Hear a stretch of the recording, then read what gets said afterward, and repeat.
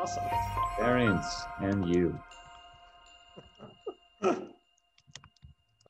Um, so what is what is variance? So I guess the the the simplest way is, at least in terms of how you see it in your code, variances is the plus and minus.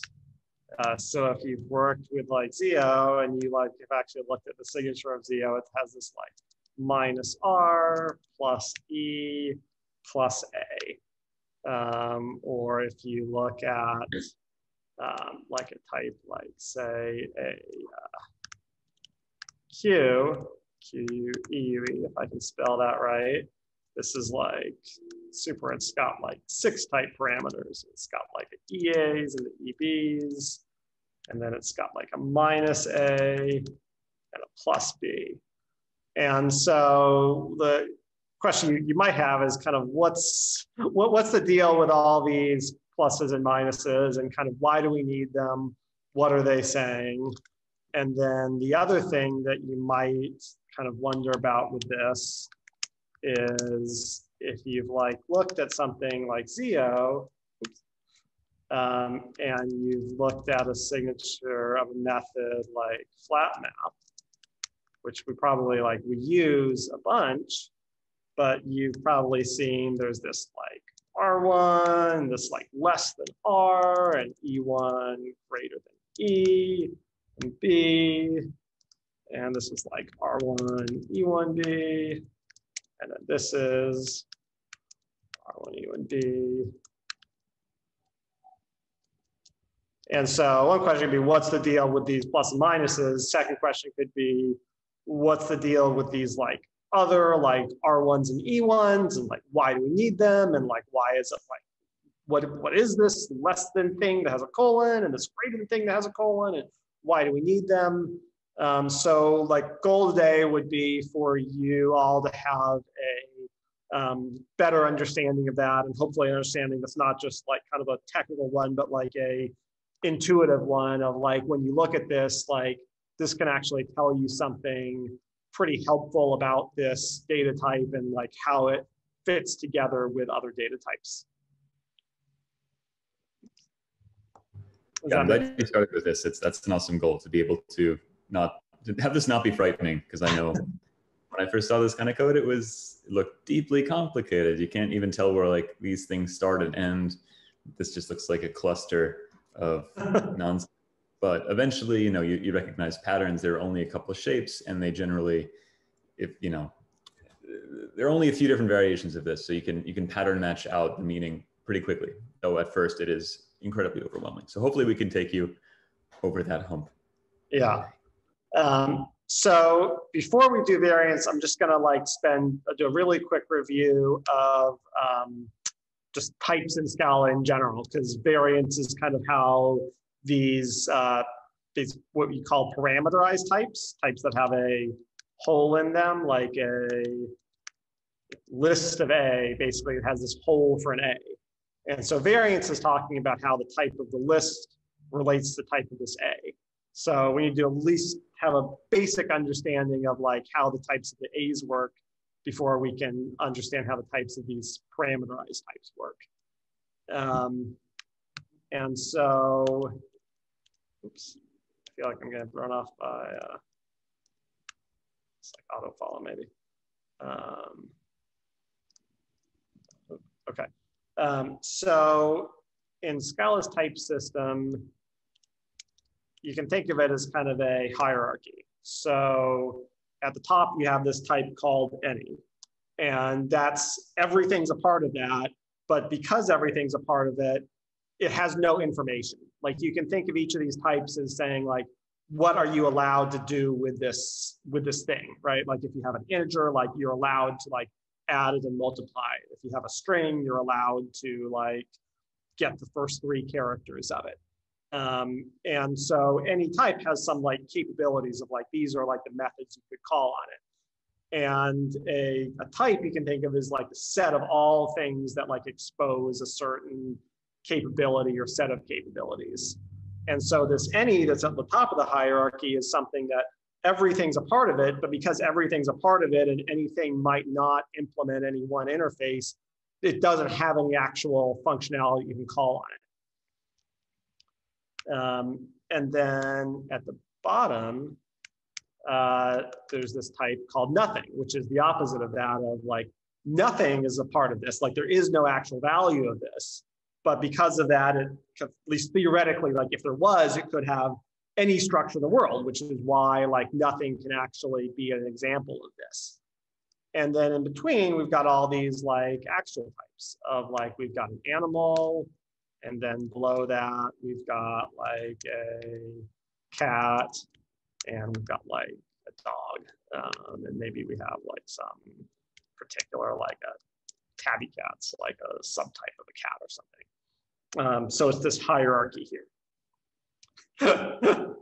right, well, and then the idea is you've got this distinction between these types, which are kind of these sets of things, and then the like individual values that were within that. So like worm is like a particular like instantiation of that like type of cats that is mostly wonderful, except when interrupting our Zymposiums. so what these uh, pluses and minuses are really about is how the variance of the uh, parameterized type relates to the type that it's parameterized on. So like if we think about a list and we've got like a list, I'll actually just give ourselves an actual traits here. So we've got like uh, animal, cat. And then we could say we've got a, um, let's just do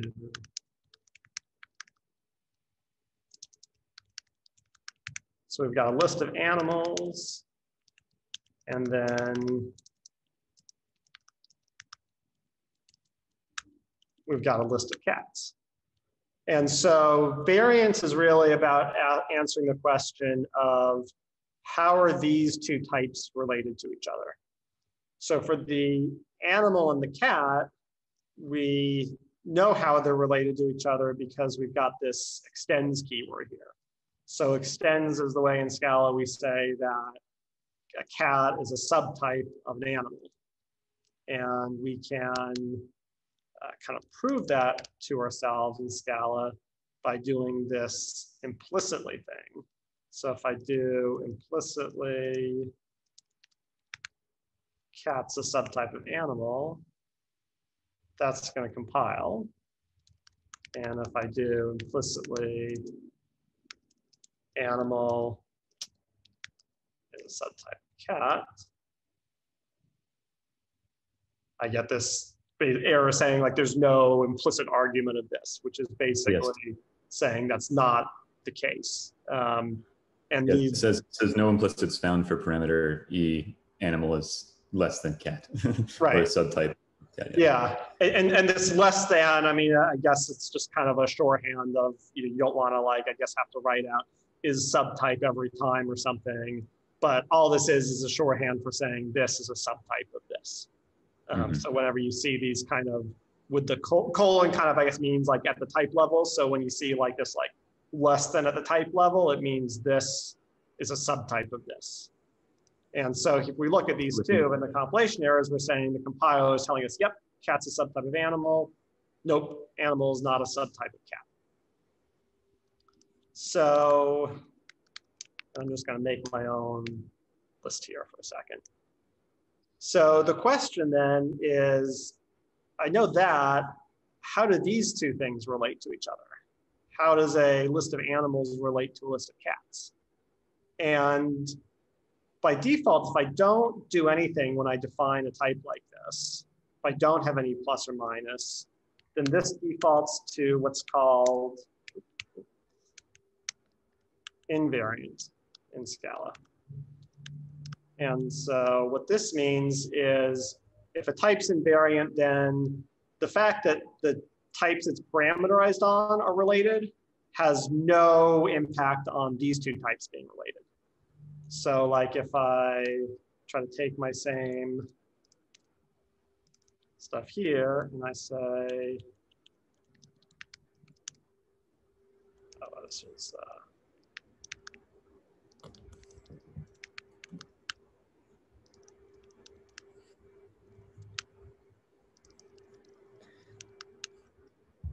Yeah, so these these all have the squigglies. Both have, yeah, you're like, I think your compilation is like slightly ahead of my, there we go. yeah, so these both have squigglies. And so that's saying neither of these are subtypes or of, an, of the other. So they're just totally unrelated types. They're like maybe one's a cat and one's a dog, right? A cat's not a subtype of a dog and a dog's not a subtype of a cat. They're just two like different types of things. Yeah, so we could see the only thing that compiles here, just to sort of show, explain what's happening, is, is this this statement that's saying that cat, prove to me that yeah. cat is a subtype of animal. And it can do that. It can, it can manifest one of these implicit things uh, as long as it is true that cat is indeed a subtype of animal. So none of these are true. Bad, bad, bad. Um, exactly. Uh, another another way to potentially to do it, I, I, don't know. I find this to be nice as well instead of just the, the implicit stuff because in, in, Scala, basically, if you have, let me make an example object here and have a, var, a value called, let me just make a animal, mm -hmm. uh, which will be a new animal, and then a cat, which will be a new cat. Um, and so this is the type of cat, this is the type of animal. Uh, we can always assign uh, a, a, value to uh, its a type of its super type. Like we can we can we can pass in a more specific type, uh, at least at the top level here. Like it will automatically widen cat to animal for us. So we can also do this, and this is fine because cat is a subtype of animal, and therefore it will widen it. So when you when you do this kind of value assignments, you can widen here. You may have seen this if you have like a you know um, a Seq, right? A Seq of int or something. You can pass in a list of ints here, and it will widen it to its super type being a seek event. Um, whereas you cannot go the other way and and specify that an animal is a cat, right? Because that is a subtype. So this will this will complain it's a type mismatch. So if if this implicit holds, you can assign a value on the left-hand side to uh, a variable that is typed as the, the, the type on the right-hand side. And that's called, that's called widening, I believe, or generally referred to as. I'm not sure actually if it's called that in this situation, this value assignment, but I'm, I'm pretty sure it's the same general concept where yeah, yeah definitely. This, the subtype is, is, is widened to its super type. So when you move from uh, subtype uh, to super type, that is, that is known as widening and then narrowing is the other direction. Uh, however, that just does not work um, here, uh, at least in this case. Okay, cool. I just want to show off another another way of potentially looking at this instead of just the implicits. You can you can think. Yeah, uh, definitely. If you assign the thing on the right hand side to a wider type, then it's a sub a subtype. The right hand side has to always be a subtype of the left hand side. So an older pattern in Scala is to is to do is to keep things invariant like this. And that ends up actually causing a lot of problems because we're when we do that, the compiler doesn't know the things that we know are true in the world. Um, so if I think about like having a list of cats, and I mean, let's say that a cat um, has its own way of meowing. You know, every, everyone has their own way of purring. Um, so if I have a, um, and let's actually let's actually do it maybe here. Let's uh, say all these cats have names.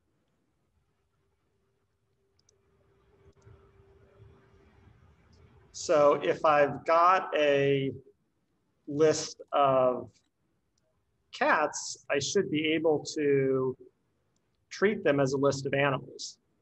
And so we can imagine also, like, let's say I have a dog that extends animal. And so what we'd like to be able to do is we'd like to say, if I've got like a dog list, it's a list of dogs, and I've got a cat list. Thanks. That's a list of cats. And then let's say my list type has some like concat operator, right? That says, okay, I can take it with another list and I get back a new list. So what I'd like to be able to do then is say,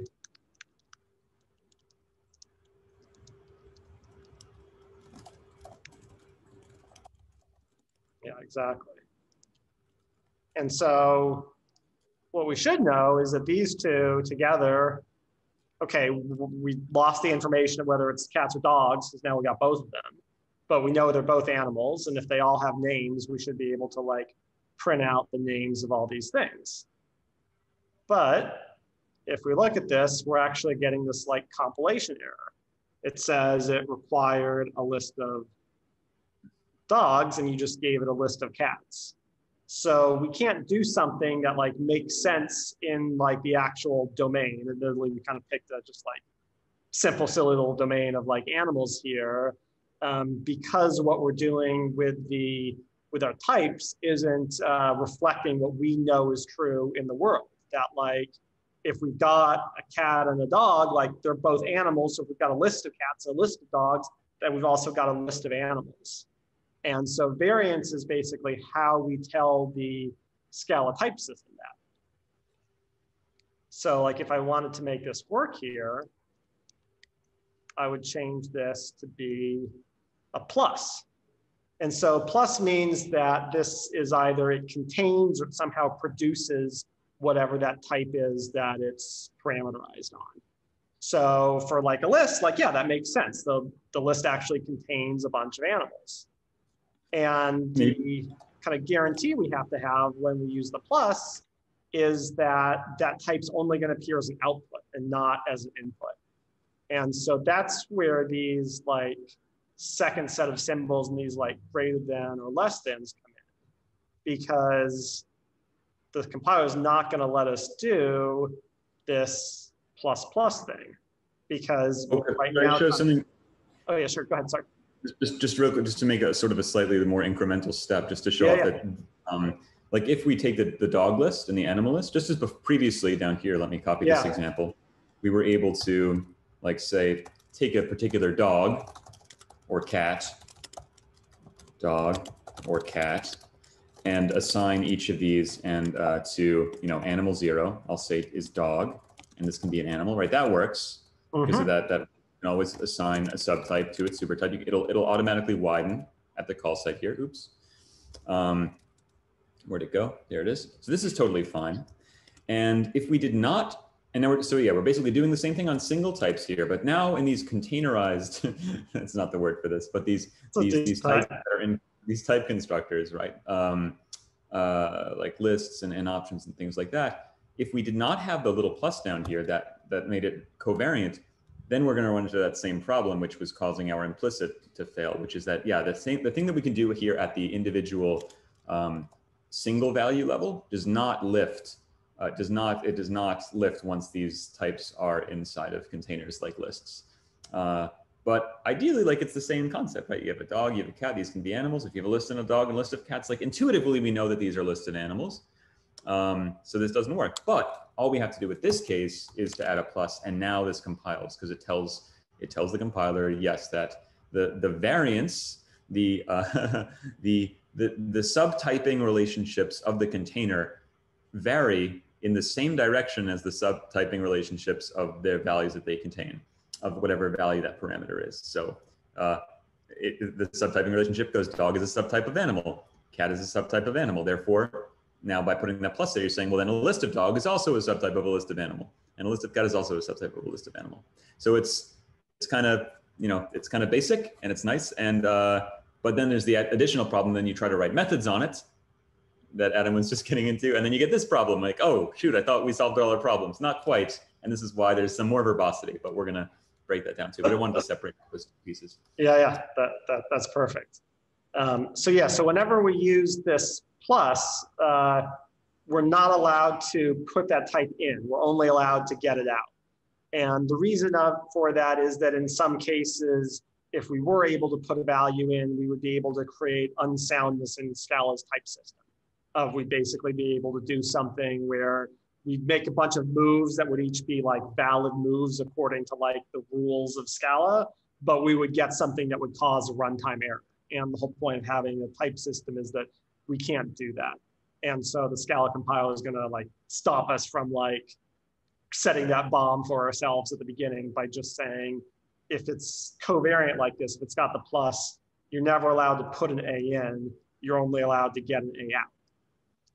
And so the way we get around this, because we, we definitely still want to be able to combine these different lists, is this is where this like type is a super type comes in. And so what we do is we define a new type and a, a common convention is we'll call this like just the same type, but just with like a one after it. And then we're going to use this greater than colon. So that says this is a super type. And so let's actually maybe make this even more explicit here. Let's maybe call this like element. And then we could call this like element one And so what we're saying is if we have a list of like cats, we can add it with something else that's a list of something that's more general than a cat. So if we've got a list of cats, we can add a list of animals to it. And if we do that, this isn't strictly required by the type system, but practically this is almost always required. What that means is that we're going to get a list of that more general thing back. So like now this like, we can think about this a little more intuitively as saying, if we've got a list of cats and we add a list of animals, we're gonna get back a list of animals. And that actually like, okay, that makes sense. yeah, exactly. We can be like super.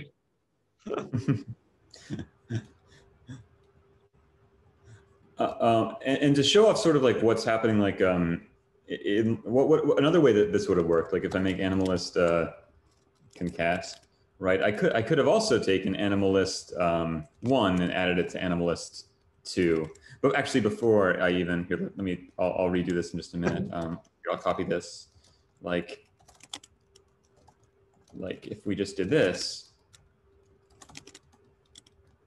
notice how. Uh, oh well, that's that's that's totally sad, isn't it? Because it's covariant. Yeah, yeah, yeah. Um, Ah, yes, because it's covariant. Well, the funny thing is that this you can this this does this type checks right because they're both animalist at this point. This allows it to widen, um, which actually uh, like that that would still be happy. But obviously, yes, because because of the fact that it's covariant, it just does not allow you to use a type A in this position. So never never mind uh, quite that. I was going to try to show off a more incremental example, but it does not allow it to uh, to, to work. Exactly. Um, uh, yeah. So to maybe move to like a little bit more of like a real world example, like another thing we could make that would be covariant is, let's imagine we had something like a um, event source. And so we just said this is going to be uh, this is going to be a source of events. So something that produces or contains something inside it that's going to be covariant. And so let's imagine that this has some method we can call on it to get the next event. And maybe this is going to be just to like keep things simple. Let's say this is going to be like an option of an event. And so the protocol is going to be, we can call this, and if we get some, then we're going to have an event. And if we get none, then this event source is done producing events. And we at least should not call it again after that. So, I mean, this is a little bit of just like kind of a souped up like iterator, um, but we can see how that's something that would be covariant here. And so we could like um, try implementing one of these uh, methods here um, to like combine these different iter iterators. So like we could say plus plus, this can parameterize on event one, and this will have another iterator. We call this event source.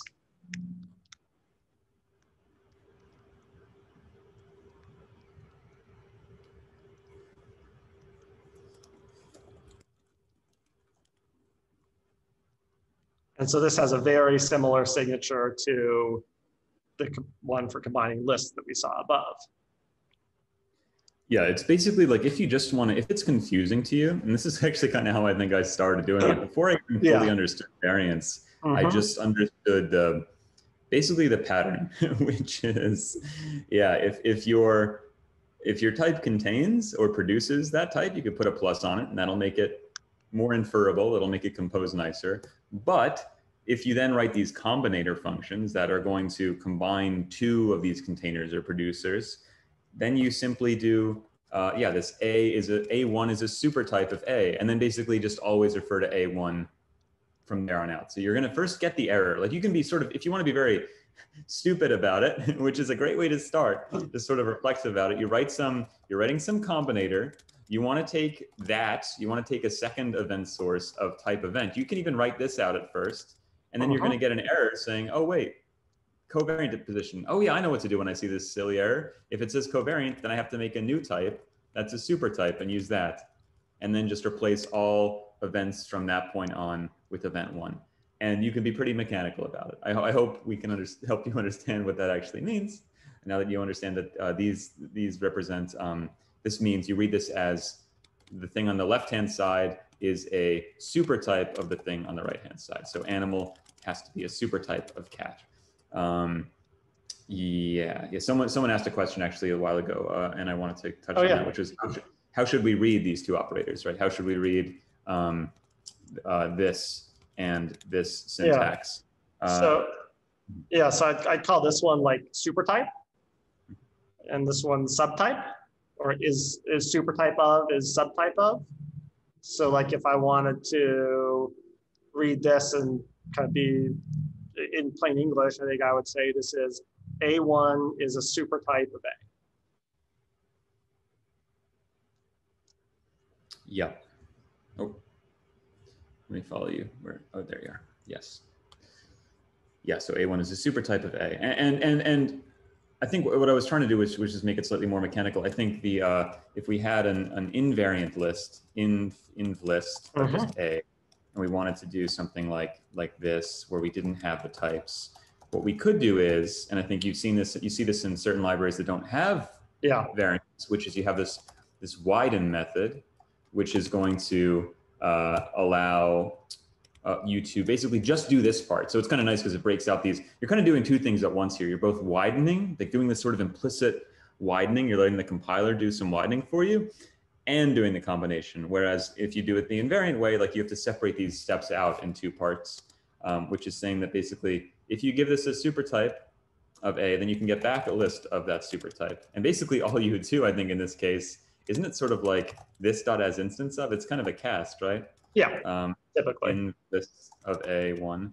Um, yeah, but basically at this point, oops, inf list, you basically have to know that it's safe to do this because uh, there are some situations, and they're kind of maybe a little difficult to just intuit automatically. Maybe we could try to contrive one where there's a reason why the compiler tracks that, and, and it gave us that warning saying you're using the covariance in, in the invariant or the in the contravariant position and all that stuff.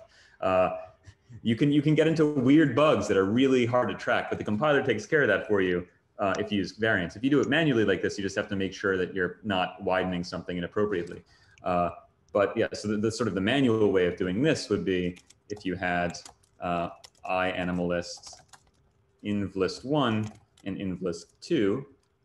Um, so these obviously are not happy, but then you could sort of do dots. Oops, these would have to be i dog list in list. As you can see, it's kind of painful. Uh, we could say dot widen animal, or really, I think I could just say widen and it'll, it might be able to figure it out contextually. Let's see. Are you happy? Yeah, so it was able to figure that out contextually because I've, I've said it there, but I could also say, okay, please widen it to an animal. Um, yeah, oops, I've done something horrible. And then at this point, we can make our sort of I combined animal list by concatenating I animal list one and I animal list two, because at this point, they're the same type. Or we could have inlined this and said I dog list and I cat list, but then we would have had to sort of widen each side. So kind of painful and, and not great. So wouldn't it be nice if, if the compiler could do that automatically for us? And if you look at like the type signature of widen here, uh, and, and, what happens when you add a, the, the covariant uh, plus here is that it's able to sort of auto widen. We were already able to see that um, for animalist one, it's able to do the auto widening as long as it knows the type. Um, so by doing this syntax, we're basically saying, okay, if the right-hand side is a super type, and it will automatically figure that out, right? We're actually passing in cat. Like we're, we're up here, we were joining um, uh, dogs, a list of dogs to a list of cats, right? Uh, or if I do dog list plus plus cat list, now that this will work. Um, we're not actually giving it a list of animals here. We're not giving it a super type. We're giving it actually a totally different type, a cat. But the compiler is able to figure out and resolve, it's doing all the work for you to say that, well, technically, while it's a list of cats, they both are part of the same type hierarchy. So I'm able to actually infer this as a list of, I can just sort of find the least upper bound. Uh, Phil, you actually asked this question as well, um, uh, asking, you know, which is confusing. Like, yeah, is the compiler doing this? Is it finding the least upper bound for you? Are you specifying the least upper bound? What's happening here? The compiler is figuring out that there is a type that is a super type of both cat list and dog list, the least upper bound. Basically saying cat list is that type, and then it's going to uh, yeah, widen everything to that type. So even though we're passing in not even a super type here, it's able to do that automatically for you. So a few steps are happening. Uh, yeah, I think that's, I'm not sure if that helps. yeah, and, and that's always because of that covariance of it's always a valid move for the compiler to widen one of these types if it knows it's covariant. And so even if it's got like the cat and the dog, it's going to try to find a way to make this code compile. And so it's going to say, well, oh, uh, right now these are just two different types. That doesn't work. But I can widen the dog to being an animal, and then it does work. So that's kind of, again, you're like getting the compiler to work for you when you're using variance.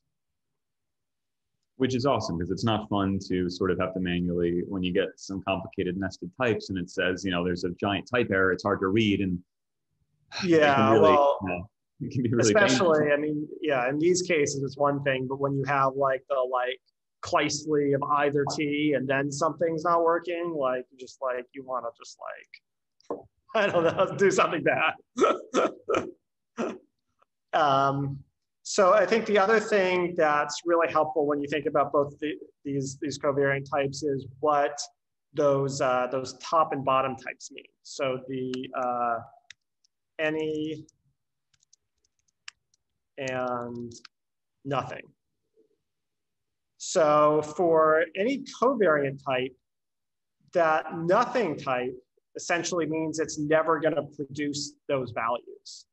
So like if we look at this event source interface here, it's got these two things you can do. You can call, you can check whether it's got another event and you can get an event from it. And we said we can never produce a value of type nothing.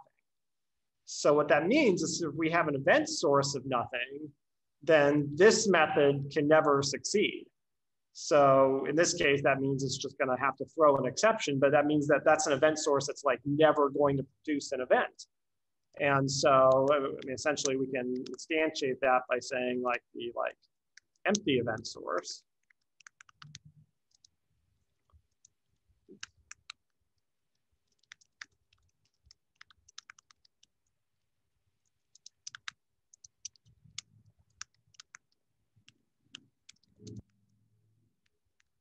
it's just never going to have another value. And this case, we're kind of doing an imperative interface. So anytime you try to call something on it, it's just going to throw some kind of exception.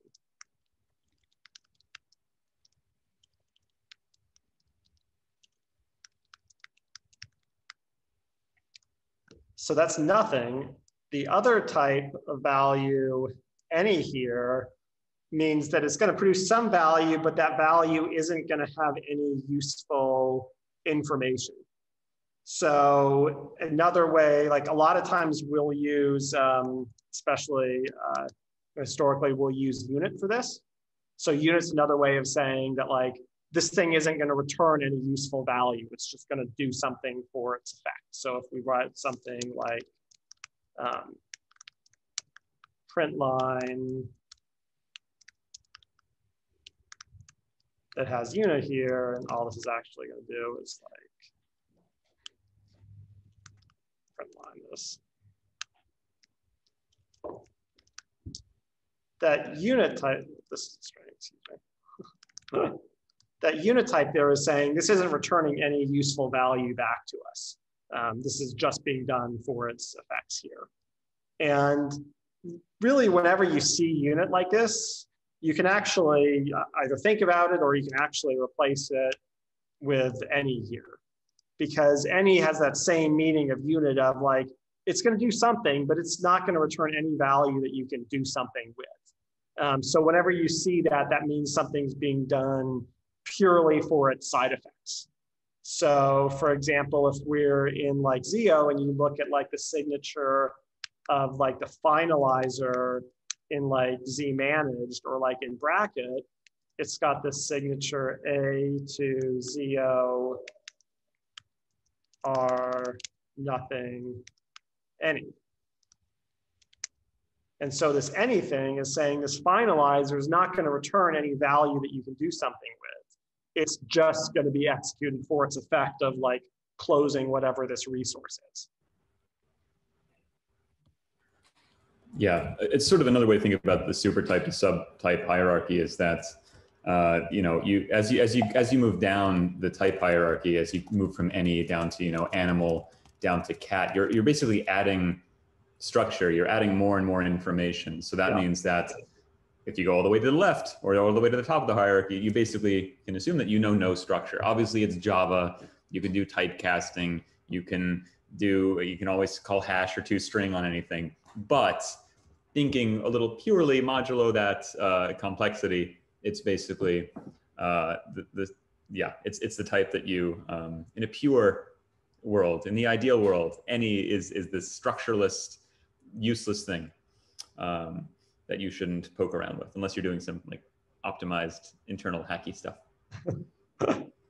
um, so so th these are all covariant types, and I think those are ones that probably are a little bit more intuitive to people because there are a lot of them that we probably work with on a pretty regular basis. And like even if we think about like in the Scala library, anything in the collections hierarchy is generally going to be one of these and is generally going to be covariant. So like if you look at list in the Scala standard library or vector, those mm-hmm. things are covariant. And so I, I think that kind of makes sense to people of like, okay, it's like some container of things, or you can generalize a little bit to maybe not a container, but a producer of things.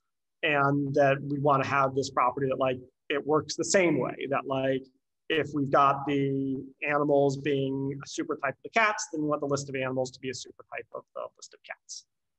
Um, I just want to throw yes. one thing real quick, actually, uh, because yeah. Uh, because uh, just to tie in with the the another use of, of nothing that you've probably seen before is right. If yeah. you have a list, you have this, and you have the tail, you have the head, of some A, and you have a tail of another listed A, list of A, my list of A, extends my list of A, oops, A. But then you'll also see this case object, you know, empty uh, or nil or whatever, uh, making up my own names here. Uh, and this would extend that my list of, of nothing, uh, which might be confusing at first. Uh, but now that we know about covariance, we know that this makes perfect sense because you're, first of all, an empty list is basically a list of nothing. You're never going to get any values out of this. So it's kind of more accurate, but also it's going to compose very nicely.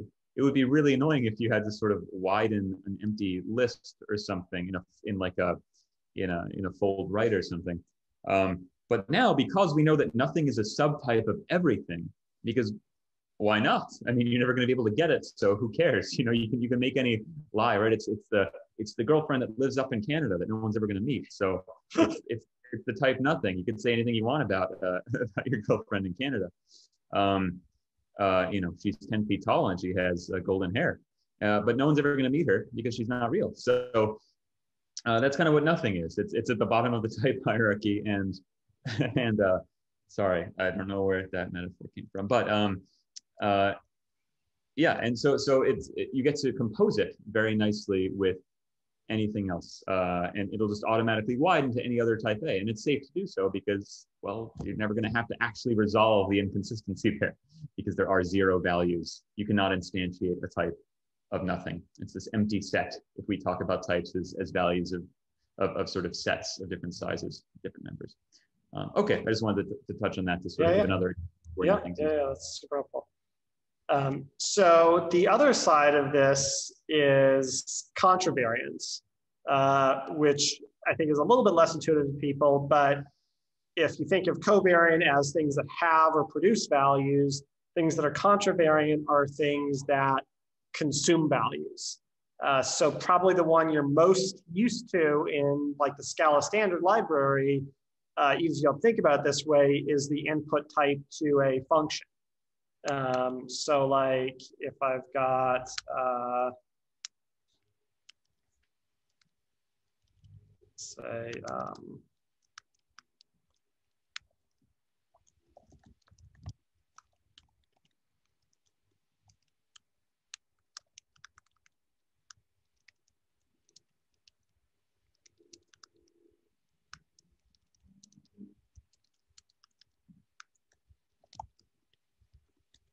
So this is a really simple example of something that consumes values in some way. And in this case, it's at least based on the name, it seems like it's going to consume them by printing them somewhere.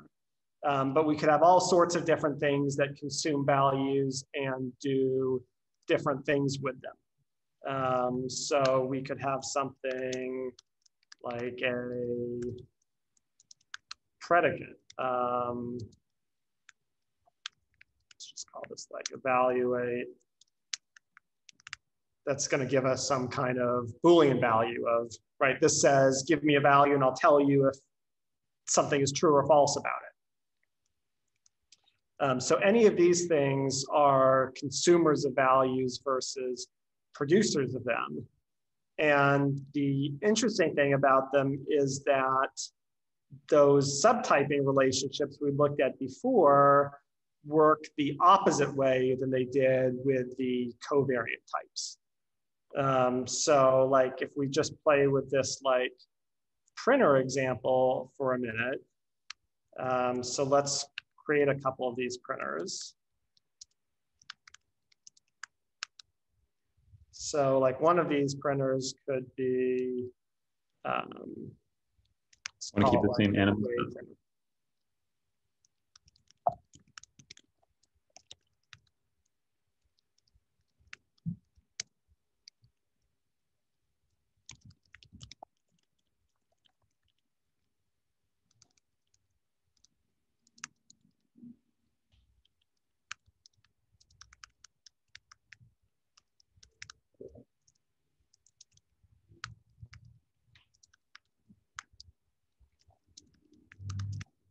In this case, we're going to try and try to get around the fact that like when we normally print arrays, we get this like useful thing, useless thing that's just like their little reference. So here we'll do like print line um, a dot make string. Um,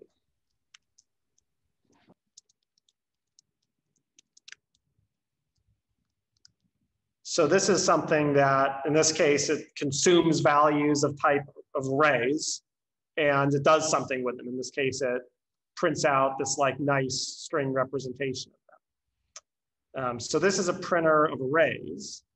And then we could have something else like, say, we have default printer. Um, and that's a printer of any.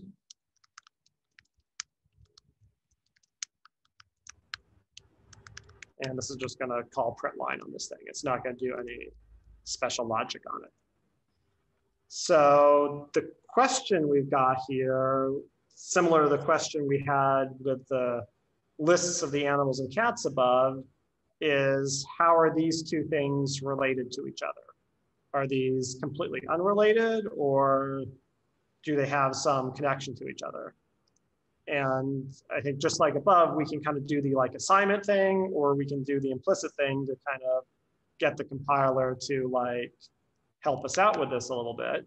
Um, but let's just try kind of seeing what the compiler says about this. So let's say is a printer of any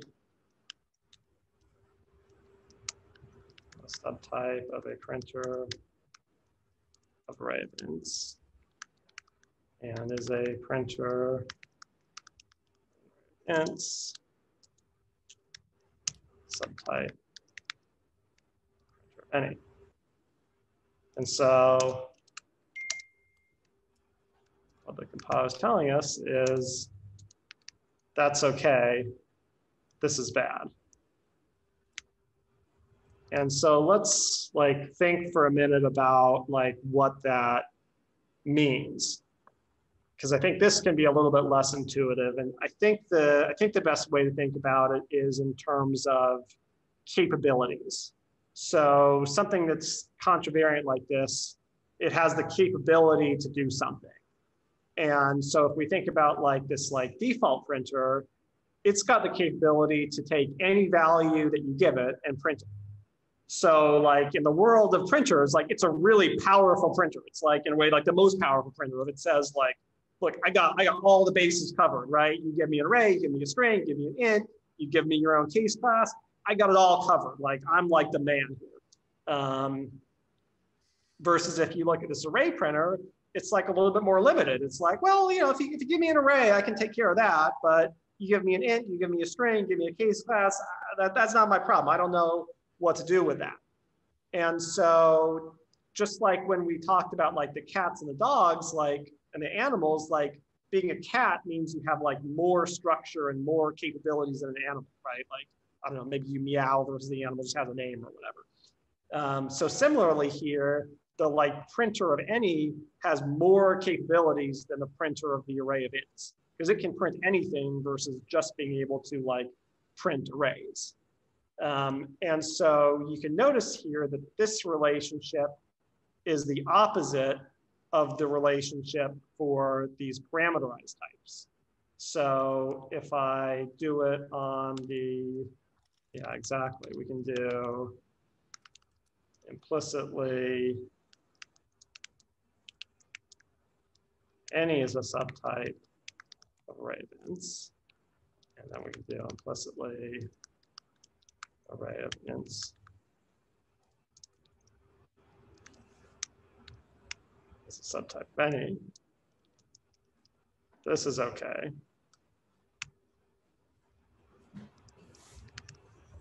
That's false. So the contra in contravariant is we flip this around. So here it was array of ints is a subtype of any, which makes sense. We said any was at the top. Array's got more structure, more information about it. But when we've got a contravariant type, the printer of any ends up being the more specific type than the printer of arrays, because the printer of any has more power and more structure that knows how to print anything versus just knowing how to print arrays.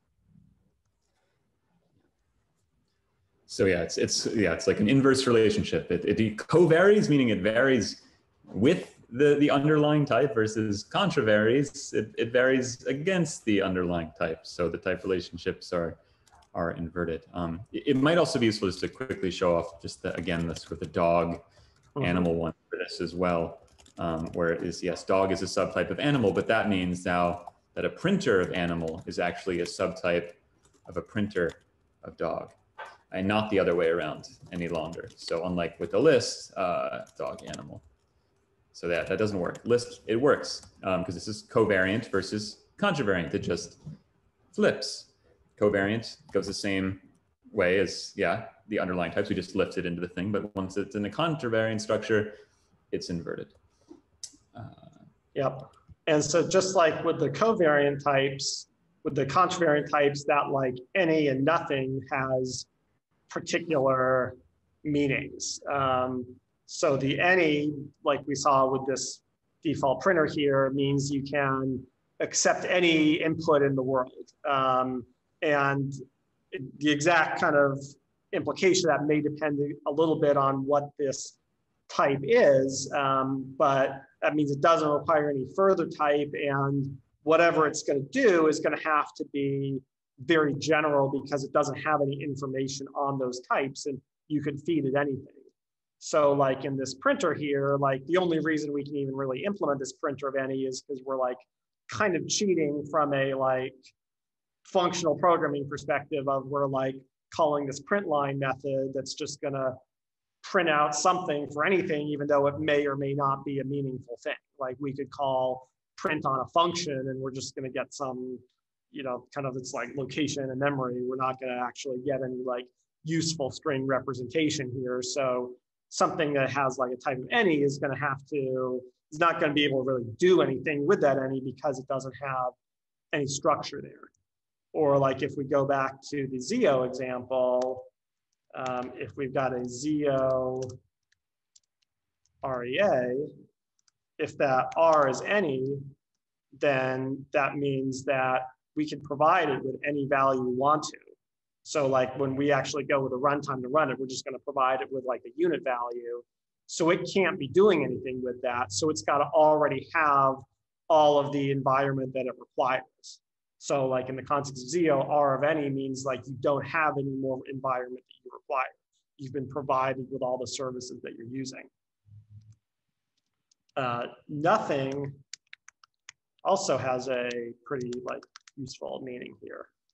And so to think about that, like think about um, what the nothing printer would look like here.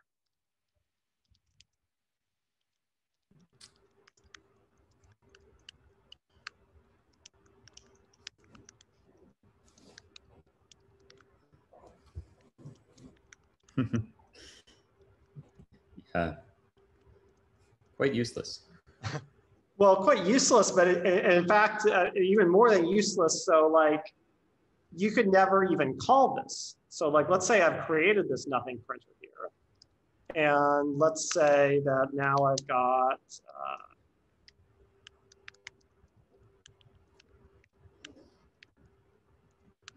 and now I try to take nothing printer or I guess I got to do printer dot nothing printer dot print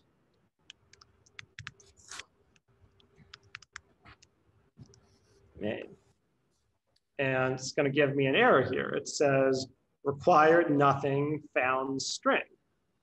And like I try to do it with a string, but I could I could try to do that with whatever number I, with whatever thing I want. I could try to do it with like an integer here, and now I'll just, I'll get a different error. It'll say required nothing found int, but I'm still not even able to call this. Like this code won't even compile. Um, and in fact, there's, there's no value that I could provide to this that would actually allow this to run. And so you might say like, well, why is this like useful? Like, okay, you, you wrote a method that we can never call. Like, what's the what's the point of this? But what it lets us do in some cases is say that some methods of a, like a larger interface can't be called. So like now let's kind of build up from this now that we've got some of these intuitions and let's look at this thing called ZQueue here. Oh, can we take one because we got one quick? Yeah, yeah. Uh, oh, yeah. Please. Yeah. What do we got? Uh, so, so just someone pointed out um, that uh, array isn't isn't array uh, invariant, or shouldn't they be invariant because they're mutable, and they are invariant. Uh, yes, actually. So yes, they, they are. They're, they're one of the ones that are invariant. In fact, all the mutable collections have to be invariant. Most of them we don't use, but exactly. array is the one that we still use because it's very helpful for performance sensitive code. But yeah, notice how we weren't saying like, oops, array of dog uh, was less than like array of animal or something, because that's invariant. That won't that won't make sense. We were saying an array of int is less than any, and so it's not a matter of the variance of the array at this point. It's it's treating this as sort of a single type, and an array of anything is a subtype of any still. Uh, it's but it's not like an array of any. Like this wouldn't work, right? Because array is invariant itself, but array itself is still a subtype of any, and potentially some other types as well, some like collection stuff. Maybe it's not. Uh, yes, it's it's a subtype of serializable and, and Java lang Cloneable. So yeah, java.lang.Cloneable. Um, it's just not going to um, yeah have that variance uh, information. So yeah, nothing nothing in here is going to, to, to make sense. But any works. So yeah, that's, an important good good question. Good. Yeah, yeah, really good question. Okay, so let's look at the interface of this uh, ZQueue thing now. So uh, you, you, probably, if, if you use ZIO, you may have used ZIO's Queue data type, which is a, a very cool data type. And when you did, you probably just worked with it as kind of a simple like Queue of A. But it's actually a subtype of this fancier thing called a ZQueue. and it's kind of a testament to the power of variance that like this thing is like out in the world. If you're like using a Queue, you use this like all the time, and you have no idea probably that there are all these other like type variables here, and like they haven't made things any harder for you. Um, and in fact, the same thing is true for a bunch of other things like ref that you like, if you use ZIO, you've almost certainly used. So this thing, oops, oh, somehow lost Ezekiel. I can try to undo, oh,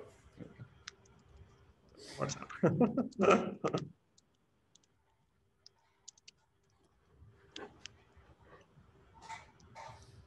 And actually, I'm going to make it slightly, I'm going to challenge us a sec here. Uh, maybe I'll just do a couple of these. So this queue is defined in terms of really two fundamental operations. So one is this offer operation, where we're going to essentially like push a value to the queue. And this is going to give us ZIO effect, RA, EA, and then it'll give us this Boolean that tells us whether we offered it to the queue. And then it's gonna give us this take operator. It's gonna try to take one value. And this is gonna be RB, EB, and B. So this is gonna take a B value from the queue and it may require this environment RB and fail in error EB. So question for us now, what should be the variance on A here? Ooh, ooh.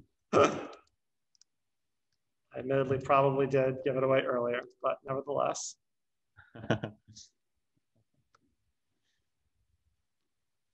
So yeah, generally, I guess the way to think about it is that if a value is used as an input, right? So contravariant types are used as, as input or, or consumers of those types. So clearly we're exactly. accepting here as input, um, we're consuming A's. So that would be contravariant.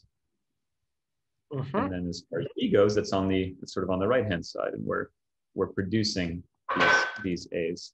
So that would be a, uh, uh, oops, consumer and then producer or container. We can think of ourselves as a container of sorts, uh, even if it's not like we don't have the value all the time. Um, a, uh, oh, sorry, a B then in this case. Yep. Yep. Yeah, that, that's exactly right. And we can reason about the error environment types exactly the same way that both of these you can think of as producers of errors. Uh, obviously, hopefully they won't produce errors at all and things will just work. But to the extent anything's happening with errors errors are getting produced by one of these things, right? Errors are getting not literally thrown, so we don't throw exceptions, but failures are getting generated in one of these two methods potentially. We're not doing anything to like handle errors in this. We're just maybe producing errors if these things fail. This is interesting though, because it's probably is worth pointing out because before, right, when we had our list, let me see if I can steal that little bit of code uh, from above. If when we had our very simple list. Where'd it go? I could, I could do it again. Here it is, our simple list. Um, I'll plop this right in. Oh, that's not. um, so this thing, right? We, we also actually here accepted an A, right? Or we tried to accept an A there, but it, it, it yelled at us. But one could, one might imagine like if you, if you just took the same approach that, oh, well, we are a, uh, it looks like like the logic that I just used. Oh, it looks like we're accepting this parameter, therefore we must be a consumer of A's, and therefore this has to be contravariant. We might have said, oh, we're accepting like the in the initial version before we fixed it up to work with variance. We'd say, well, oh, we're accepting an A, and therefore we must be a consumer of A's, and therefore we should be contravariant, right? And uh, and oops. Um, and when, when now it's sad here because it's being used as a return type, I think, as well. Uh, or is it? I, am actually not even sure. Um, contravariant type A occurs in a covariant position of a list of it. Actually, maybe that just breaks anyway because it's like doubly nested there. Um, but I think you actually do have to think about the semantic. You can't just always look at where where it's being called. You have to actually think about the semantics of your data type. Like a list, even though we are calling A in here, it's more that this is a this. You have to think that this version of of this plus plus is actually more of a combinator, which we're using to build up another container. So it's not so much that this this is a a core uh, unary method on our type that is actually going to in, intended to process these types it's actually building up another larger container out of both types. So you actually have to think about, um, I think that the consumer producer analogy that um, Adam uses all the time is, is probably a better uh, understanding than just like literally looking where the argument is. Because yes, this if this were like uh, a plus plus where we're building up a larger queue, then this actually doesn't necessarily entail that this is should be a contravariant parameter. Um, but in this case, we're just accepting an A. We're not using it to build up some larger ZQueue that is compo- composed of both. So yeah. Right. You got. I mean, yeah. I think the other thing there is there's a little bit of distinction between mutable and immutable structures because, like the list, we're saying we're going to produce a new list that has the elements of both of them and it's going to have this wider type. Whereas, like this, like ZQueue thing is essentially a, a mutable queue within the context of ZIO. So, like once we create it, we can't change its type. It's a little more like the array of like we can put things into and out of it, but it's going to like have the same type. Mm-hmm. Um, so, okay, this kind of makes sense. So then we might say, um, I'm interested in describing two new data types. Uh, so one I would like to describe is a, what we'll call an NQ. And uh,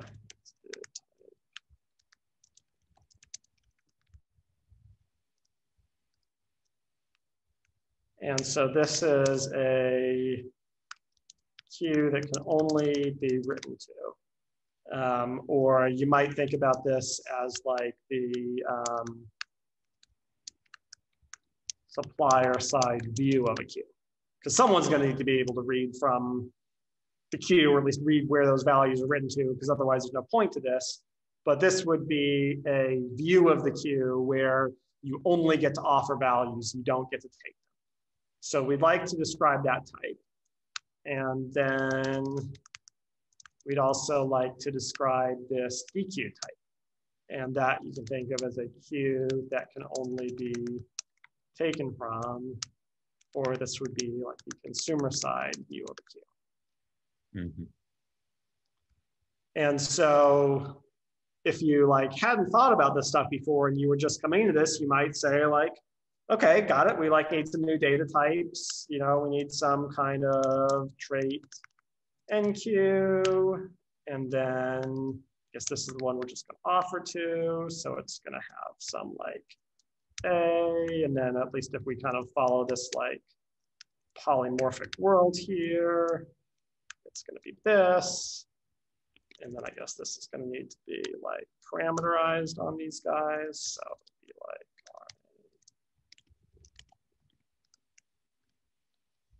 And so, okay, like that kind of works, but like that's also like a little bit annoying here of like we've had to have all these new data types and presumably like this is going to have oops lots of other methods and then this is also going to need to have lots of other methods and then we're also going to have some issue of we're going to have lots of other operators that deal with these things. And so we can imagine like if we have something that's like a ZStream, has something to like construct it from a queue, well, now do we also need like to construct it from one of these other things? Like it kind of seems like we're getting this like proliferation of things here. Um, but so this is where using these type parameters can be really valuable because we end up actually being able to define these just as type aliases for this thing. So let's like try to like work that through. So simplest thing for me is always start by putting the question marks.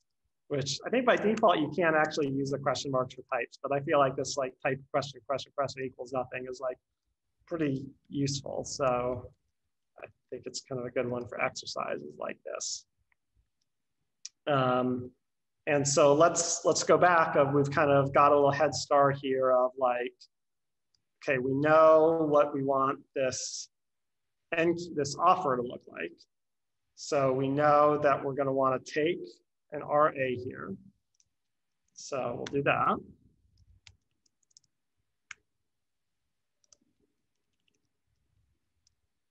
Here, let me just actually copy the um, the signature down. I think from. Uh, should I, should I delete these these trait stubs because we're going to use the type alias method instead? Uh, can you just comment them out because they'll actually be kind of helpful to us to, as we like look at these. Okay, sure, sure, sure. And I'll, I'll copy down the um. Yeah, yeah, perfect. It's the definition, so we have this right yeah, below. Yeah, sorry, your screen's probably bigger than mine. um, so we said, wait, where'd our? Uh, oh, at the, at the bottom. Here? Oh no, yeah, yeah, perfect. Sorry. Um, so we've got our RA. Then if we look back up at the NQ definition we had here, we've got this EA, which is also this EA and this ZQueue dummy. So we're gonna need that guy. So we will do that. So we'll add plus EA.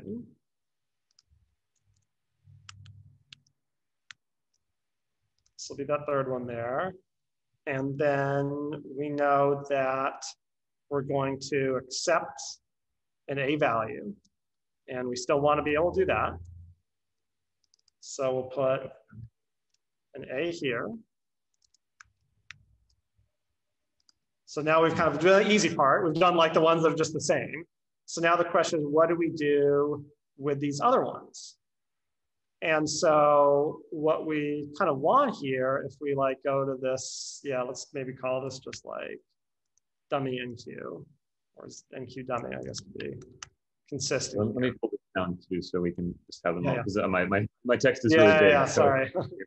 I should, I should make mine as big as. No, no, it's So all, it all fits, it all fits. we know that if this NQ dummy really is a ZQueue, then it's gonna have some take method.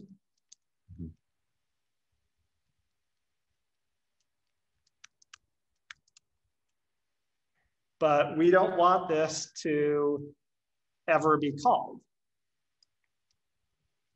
So how do we make sure that no one ever calls it here? Well, so we said before that for ZIO, this environment type is the type that we need to run this effect. And we said if it was any, then we had everything it needed and we could run it. And if it was nothing, then we could never run it because we could never provide it with what it needs to run. So if we want this uh, NQ dummy to be something we can never run, then we can make the environment type nothing there. So that would be RB then, okay. Yeah, exactly. Um, and then in a way, the other uh, this is this is one of those problems where like the answer is kind of overdetermined because at this point, if we can never run it, then it kind of we can put whatever values we want here because we're never going to be able to produce those values. Um, What do it you have ends to up- do in ZIO? it ends up being useful to have those be any and any um, because since we're never going to be able to produce it, we can uh, kind of make up any num any value we want. And that way, if we have any specific Queue, we can always treat it as one of these. And so now we've got this NQ thing. And so now, like, we don't have, we literally don't have to implement anything else except for this type alias. And if we've got any operators that work with queues, they'll be able to work with these as long as they have the appropriate type constraints, as long as they only need to write values, they don't need to read the values. Um, and we can do the exact same thing on the other side with uh, the DQ. And it kind of ends up being like the dual of this.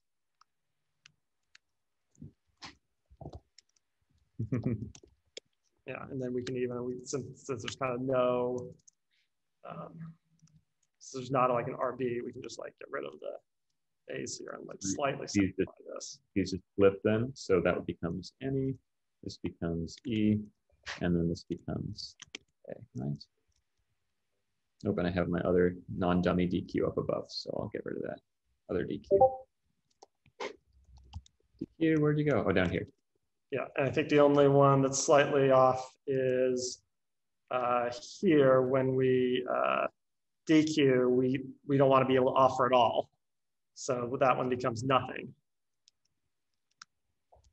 Because we Hmm. can't offer at all here, right? We want this to Ah. be nothing, so we could never call the offer. Okay, and then I guess it doesn't, should this, would it be any sort of like, it doesn't really matter what that is, 'cause you can never call it Uh, that, that one ends up being the same because these ones have the same variance. It's just these last two that like the variance of these two is flipped. Okay, so this is, Yeah, ah, I otherwise you're, yeah. yeah. yeah, otherwise you're 100% on. Um, and so there, then we kind of immediately get these two types and we get like the guarantees we want that on the DQ, we can never try to offer a value. Like we can never even make it compile trying to offer a value. Um, and on the NQ, we can never take a value. We can never even create a runnable program in ZIO that would try to take the value. So we can never create that environment. And we've like expressed all of this just with these type aliases. We haven't had to like creating like subtypes or supertypes or worry about like, you know, are we going to forget the information about the specific subtype it is, or is some method going to accept the right subtypes or supertypes? It all just like kind of naturally happens because we're giving the compiler the information that it needs by using variance. And, and if like, I mean, thinking that sort of naive approach, if you just did sort of minus R, you try to use variance minus E, well, or plus E, right? You couldn't, you, this would have to be invariant because you want to both, like if you, if you needed to offer these, have these both, met, both these methods, R, E, and uh, Boolean and R, E, A, right? Like, yeah, we, we, we, if we try to put plus here, it's going to complain here because we're accepting this input. If we try to make it contravariant, it's going to yell at us here. So we're kind of in this in this bind where we kind of have to keep it invariant, or yeah, you you you put a z on the front and Yeah. duplicate all your parameters, and then you get both views for free. And I mean, it's definitely a lot of it takes it takes a little bit getting used to, I'm sure, but um, I think it's something that you can master pretty easily once you start doing it. Yeah, well, and going back to what we said earlier, a so we said something that was covariant was a producer of values. So like the Queue is a producer of values in the sense that you can take values from it and get it. Uh, a value that's contravariant is a consumer of values. So like a queue is a consumer of values in the sense that you can offer values to the queue and it's going to do something with them. In that case, kind of just like add it to this like data structure that maintains internally. And whenever you combine something that is both a consumer and a producer, you end up at, at invariant. Invariant is kind of the lowest common denominator of like if you put things together that do both of them. And whenever you see something where you're both producing and consuming, it's worth asking whether those can actually be broken out into separate things. And the, sometimes the answer is no, like, you know, array is an example of array is invariant because you can write to the array and you can take from the array and just this very like low level thing and like it just is what it is. It's like basically like block of memory on the computer. So like it just is what it is. Um, but if you've got something that's higher level, it's worth thinking, can you split those two things out? Because if you can, you're usually going to expose a lot more operators and it's usually very easy to recover the like more monomorphic version here. So like with this Queue thing, um, I think we maybe use like, yeah, so like this actually becomes Queue is just uh, A is just a ZQueue that doesn't require an environment, that can't fail, and that has the same types for offering and taking. And with this variance here, like you, you're you're never going to know that like you have this thing instead of this thing if you're just working with a queue. Yeah, it's kind of cool. I've, I'm sure I've mentioned this before, but ref is this very similar, and, and perhaps you've used ref if you use ZIO, and it's a similar thing. I'm not sure if it has. It probably has similar. Uh, yeah, the, the the the the ZRef does, or the the ZREF M that has the environment. Um, They're both sex functors or whatever. um, yeah, that's that's awesome. Um, oh yeah, so let's let's let's pull it in and see. Okay, okay, only four. It's just a. Just it- a if, if you scroll down to the ZRefM, that's the one that has the environment. Ah, So- ZREF M, ZREF M, of course. Yep. Okay. Let me see, ZREF M. There we go, ZRefM. Aha, there's our beautiful sexafunctor. Perfect. Um, okay, cool. And now you kind of can kind of get it. Uh, uh, and and also, if we let's look at some methods here. Let's see if we can. So map um, takes a, a B to C, right? B was the output type of this, right? Because we basically split we split what was the value that this ref contains into both sort of the input view and the output view, the contravariant view and the like when you set this ref versus when you get a value from this ref into these two type parameters A and B. So you can map that output to a different type to a C, and and you get back, you know, the RA, RB, EA, EB, A, and then C. So B really just all this is all the same except B turned into C. And so now you have these two views and you can get all these, the powers of, you know, we talked about this. I definitely recommend watching the Prelude video for it kind of, I think, dovetails nicely with this one because we kind of talked about when you have contravariant and covariant types, while we didn't really explain what those meant in terms of variance, we did explain sort of the, the, the operations that tend to appear when you have one of these types. And you lose a lot of those if you have an invariant uh, type. So you can get back all these nice map, contra map, and and yeah, it should just start clicking. And if we let's see if we can find a nice one that has a bunch of uh, these these types of things on it. So yeah, map M has these uh, upper and, and, and lower bounds, but it's all just pretty mechanical. Um, Yeah. and follows. It look it can look complicated when you have a lot of these type parameters, but if we if you understand it in, in just the single case, it's really just that same mechanism where okay, RC, uh, we want to accept something. we- We're basically building a combinator here that's going to create some new type, but because RB is is is contravariant, we need to have a subtype. We're going to allow the method we pass in to implicitly narrow the return value, um, which is just nice for uh, API inference. It's it's going to we don't have to widen and narrow all of our types. This is it basically is just going to do the thing you want it to do.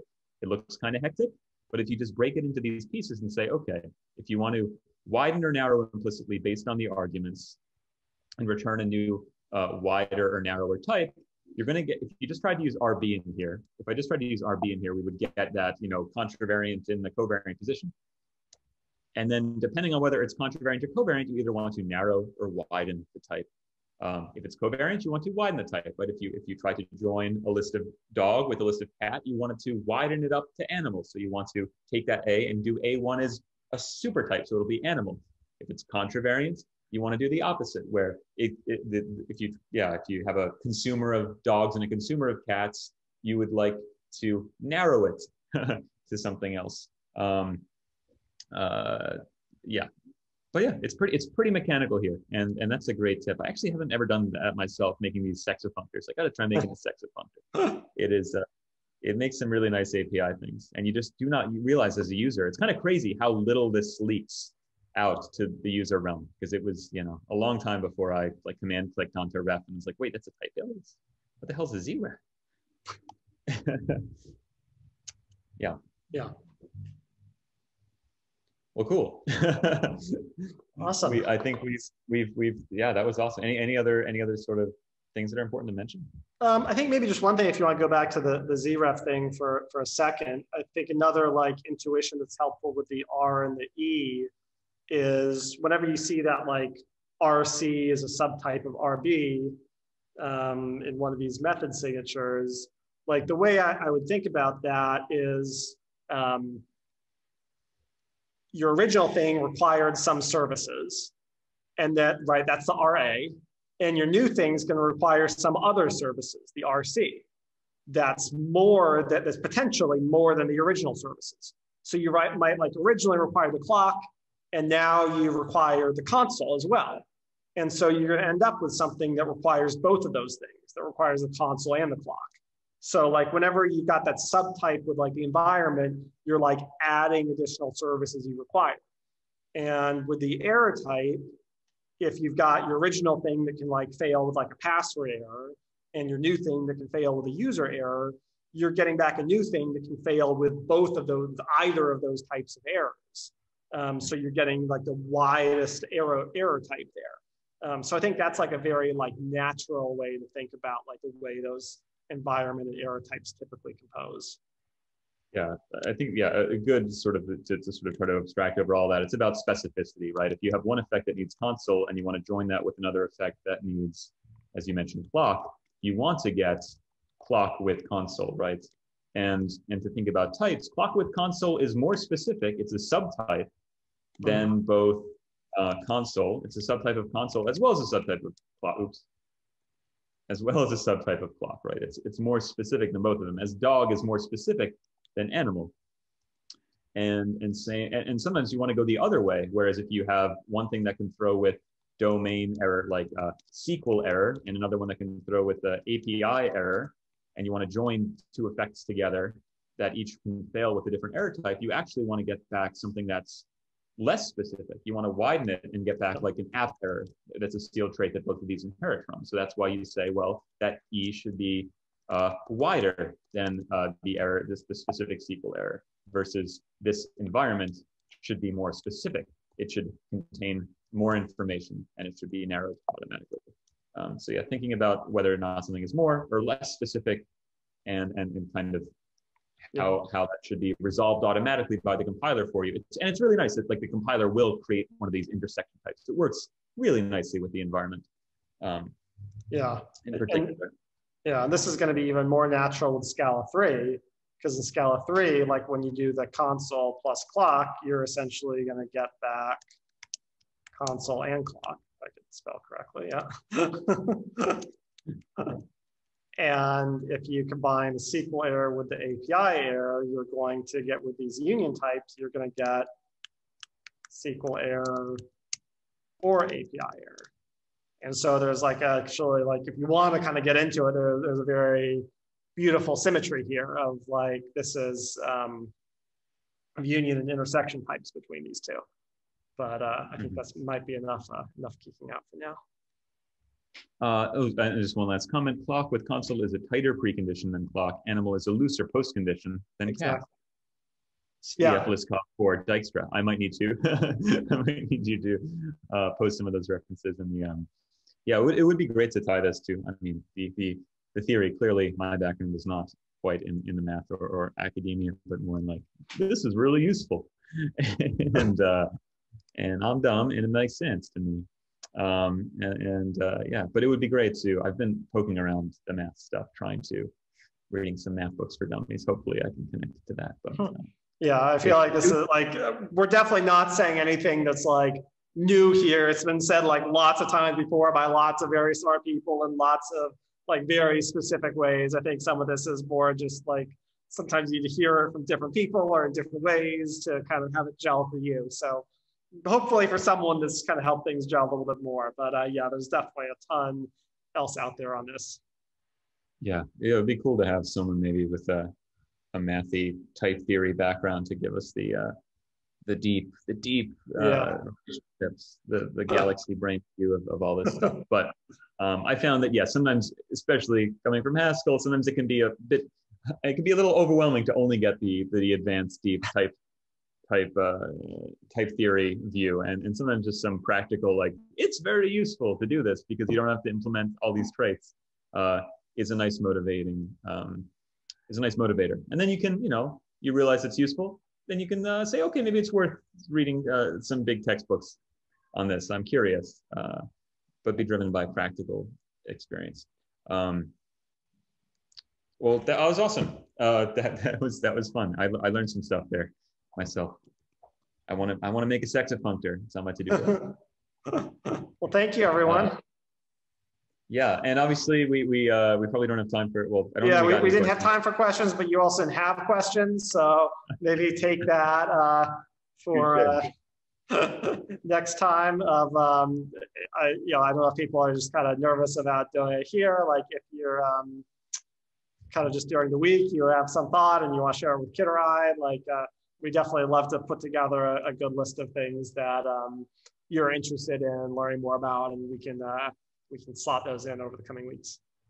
Yeah, I think uh, just in terms of upcoming stuff, we have a lot of actual like hard coded things planned. Yeah, I think the next uh, two two or three weeks we actually have stuff coming up, but we will put it on the agenda. Yeah, I think next week we've got the uh, Quill release party for Scala 3. So um, Alexander's done like a ton of like really impressive work on um, basically redoing Quill for Scala 3 because it very reliant on macros, and macros is one of one things that like almost completely changed in Scala 2 and Scala 3. So um, I think that's going to be really cool. We're going to have a bunch of actually like special guests for that, and uh, I think it'll be it'll be a good good time, an interesting time. Um, and then the week after that, we've got uh, Mike Arnaldi, who's the um, developer of kind of the ZIO uh, version for TypeScript, uh, coming in, who's been doing a lot of interesting work on kind of what would a uh, Scala 3 native version of ZIO be. Uh, that's probably at least a year away, just given that when you kind of develop natively for Scala 3, then you can't support Scala 2 anymore with that same source code, or Scala 2.12, I should say. You can support Scala 2.13, but there are a lot of large organizations that are still on, still on Scala 2.12. Um, so we're kind of not able to really do a fully native Scala 3 version. Obviously, it'll work on Scala 3. It'll work totally fine. It's more as us as like library authors, we kind of can't use all the cool tools yet. Um, so he kind of played with like, what would that look like with the cool tools? So I think that'll be really interesting. And then the week after that, um, we've got Ash coming to talk to us about ZIO Flow. Uh, and we're going to do a little bit of a session. I think like the one we did with John, where we'll get like a little bit of an overview of the library from her. And then we'll actually go through and we'll try to do a, a pull request with Kit and I pairing and she'll kind of mentor us through as we, we do a, a first uh, pull request there. So, uh, and then after that, we've got a lot, after that, the world is wide open for uh, more front end stuff and more ideas from you. Um, but uh, yeah, lots of exciting stuff coming up. Yes, and I've encoded the dates here using the Peano notation. That's a math reference. Uh, uh, uh, for for dates. So next next next next next Friday is totally free. But uh, but yes, uh, I think we've mentioned this before. Something that could be fun is if people are like using ZIO or, or anything else that you think we might be uh, able to help you with. Um, it would be fun to sort of just do a bit of a a live. I don't know. We'll, we'll be your geek squad. Uh, yeah. And, and, we could all like pair on your open source project or, or like a minimized example from like a, some production app where you're trying to use, uh, you know, ZIO in your company. Um, we can kind of show off some stuff and, and, try to help you make that nice and shiny. Uh, so if, if anyone wants to volunteer for that, please reach out, and that could be fun. But that was that was a blast, Adam, and everyone. Thanks for joining. Uh, until until next time. Oh, uh, oh, and oh, someone asked if we could be a, do an intro for something on like ZStream sometime. I think that would be great. Oh yeah, I think that'd be a really good one. Yeah, I, I was I was thinking about that a little bit because we've like used it like a bunch of times in like some of the applications, but we haven't really done a like from the beginning. So that could be interesting. Yeah, and, and you've given me, Adam, I think, in, in pairing on some stuff, some really good tips for making like it's such a powerful framework that it's not very constraining. Like you can write you can write things very verbosely that can also be expressed very minimally, and it's not always obvious how to think fully in stream mode. So I think going over those things would be super beneficial. It's, it's yeah. very powerful. Awesome. Yeah, good good suggestion. We'll definitely uh, I'll put that on the list. We'll get to Great. that eventually. Next next next next next next Friday. But until then, take right. care, Bye, everyone. everyone.